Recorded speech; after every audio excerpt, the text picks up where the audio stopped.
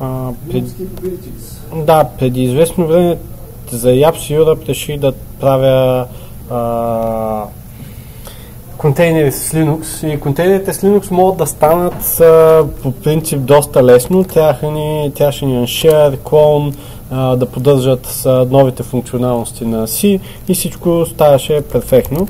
А, обаче има някои неща, а, а, които липсваха. А, е, къде сега ще обясня. Е... Е. Да. А, така. А, Linux първа катала а, съществува доста време, обаче за съжаление интерфейса му а, не е от най-приятните и специално случая с Capabilities е доста неприятен. И аз реших, че ще направя а, вариант на а, libcap функциите, а, примерно Оп, секунда. Две ли беше? А, Стъпка назад, т.е. това е а, пър- първски модул, с който можеш да контролираш capabilities директно. а, да, Добре. идеята е libcap ето тия функции и освен това а, има още няколко а, capabilities from text. Той не е ли тук? Не е тук. Добре. Само секунда. Манна е това нещо. А, идеята е, че capabilities с които админите са свикнали да работят са а, примерно а, sysadmin, cap а, setcap, cap netrol, не, нещо, което им а, говори а, нещо, докато това нещо в първа каталог трябва директно да знаеш едита, с които да го сетнеш. Не е много удачно, плюс това структурата е някакъв хеш, няколко хеша, които трябва да подаваш на практика.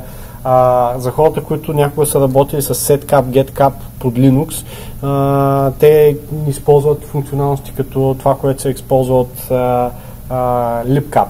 И идеята в момента на мен ми е да имплементирам абсолютно всички функции на libcap под Perl с а, XS модул, което съм тръгнал да правя и ня- някои от нещата вече са готови, но съм много в зародиш. А, да. Само за контейнери ли ще се ползва това? Е. Не, това идеята ми е да бъде generic модул, който да може да се използва за каквото и да е. Аз ще си го реюзна в Azilian, в моя софтуер за а, контейнерите, но основното нещо е не, а, да го направя generic, така че всеки един да може да а, слага custom capabilities за своя а, процес. Тоест, пускаме си root скрипт под root, след това инклюдване на а, Linux capabilities и си дропваме нужните capabilities като важното е, нали, че мога да пипам и bounding сета, така че ни, а, надолу, а, ако сме дропнали някой capability, да няма никаква възможност нали, да се регейне това capability през а, сетовите application и така нататък. Uh, не, това изцяло изцяло си го прави LipCap, просто до момента не сме го имали изобщо в Perl. Това, което правя е uh, CapGetProc съм имплементирал в момента, uh, направил съм uh, към CapIS Supported uh, съм направил експорт, също get на bounding сета за момента и последното ми е get на capability за даден пит. Само тия съм имплементирал към момента, обаче ще почна да добавям и тези, които са с засетването, като не, това е много просто. XS код с uh, къде ми е първа първа пък е а, още по-простичък. Той само използва а, всичките capability които имаме по принцип. Директно а, ги слагам като отделни а, тагове, които експорт, експортвам от а, модула, за да могат да са валидни в а, първа ни и ще експортвам а, а, функциите. И това е. А, в общи нещо изключително просто исках да направя и освен това направих нещо, което го нямаме май към момента в LipCap и то е дали дадено capability е валидно capability. А, принципно е много лесно да се вземе последното capability да се прави просто между, дали е между 0 и това число. А, защото има такива ситуации, когато някой програмист ще вземе да използва библиотеката с а, а, число за, за capability и просто да, да има някаква променлива, която трябва да го сетне.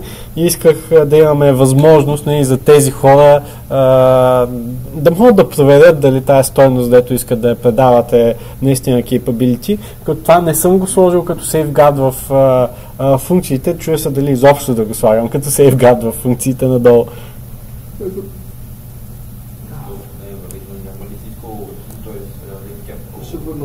Ще върнат грешка, да, обаче ще стигнеш до тях, няма нужда да ги екзекютваш даже. Не, то това е окей okay да ги екзекютваш, в смисъл, те са дизайнати, нали, спецификацията им казва, ако ми дадеш капиталите, което не знам за него, връщам грешка. Да. Че е окей okay да го викнеш, да върне грешка и така да бъдеш, че... Само дето тази грешка, дето я връщаш, а... зависи как ще е хендъл. Към момента аз просто принтя на а да и връща минус едно, обаче...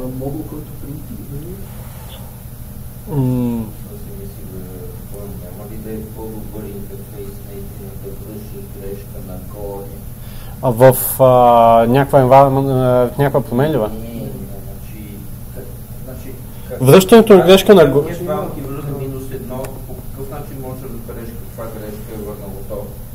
Има ли след това едно или нещо такова? А, значи той ще ни сетне, но не съм го предавал нататък.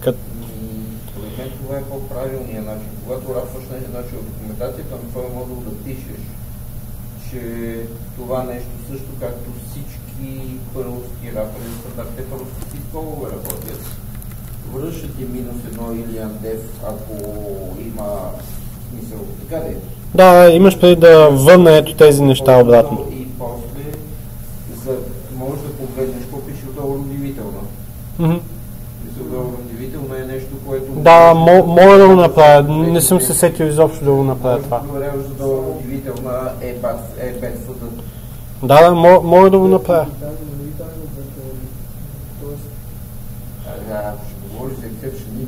Не. А, тук единственото нещо... Не Не, зависи всъщност. Има някои модули, които А. кетч такива неща няма да правя, защото не знам, не, не знам как се ползват добре. Имам пред. Значи, модули, които ползват двете- API с облата неща. Двете теории са връщаш error code като резултат от функцията и той отгоре е длъжен да прави if нещото и да проверява резултата. Другата теория е хвърляш exception, но трябва да го Ако не го хване от това, програмата крашва.